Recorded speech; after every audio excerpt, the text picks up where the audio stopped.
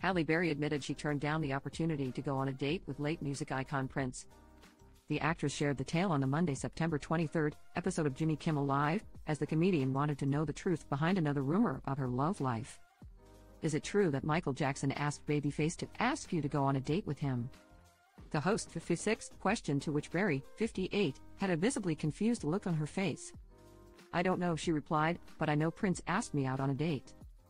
I was at one of his concerts. He had somebody come out with a piece of paper. You know how kids do, do you like me? Yes or no?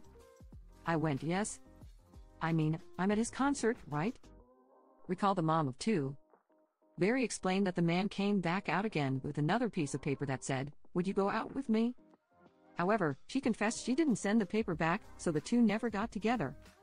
Prince passed away at age 57 in 2016 from a fentanyl overdose.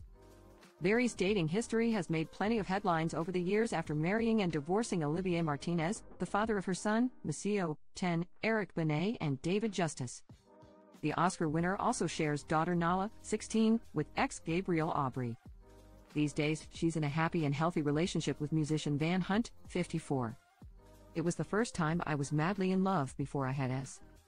That has never happened to me, ever, she spilled in a recent interview about their relationship. Talk about one of those life changing, beautiful experiences. It was magical, just magical.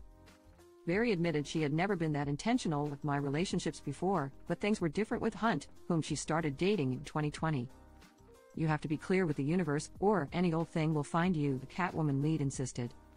The minute I started to feel like I understood myself and what I had been doing wrong, Van's brother, who I had known for many years, came to me and said, You should meet my brother though she acknowledged it took me a minute to get it right. The nature of the way this happened, I have a real belief that this is it. This is my person. In a separate interview, the Hollywood bombshell admitted she's open to walking down the aisle with Hunt. He is the man I should have married, Berry gushed.